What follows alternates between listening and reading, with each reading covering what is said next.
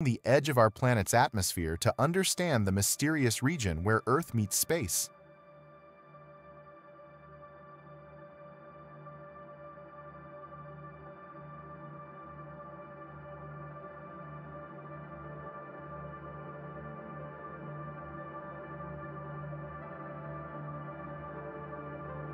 This area, called the ionosphere, is a layer where solar radiation turns ordinary particles into a glowing sea of charged energy. In 2018, NASA launched the GOLD mission, the global-scale observations of the limb and disk, aboard a commercial satellite to observe this region from 22,000 miles above Earth.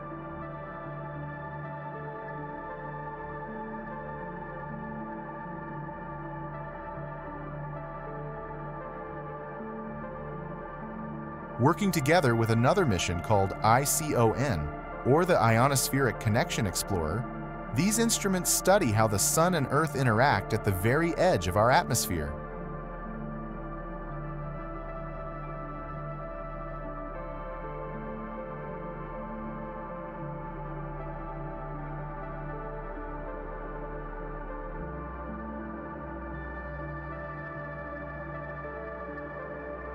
Their discoveries help protect astronauts, satellites, GPS systems, and the communication signals we depend on every day.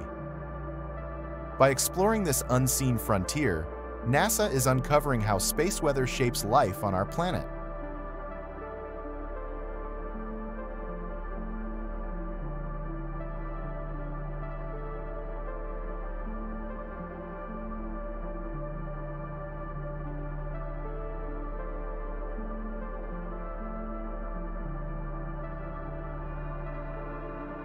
Reminding us that the journey to understand the universe begins just above the clouds.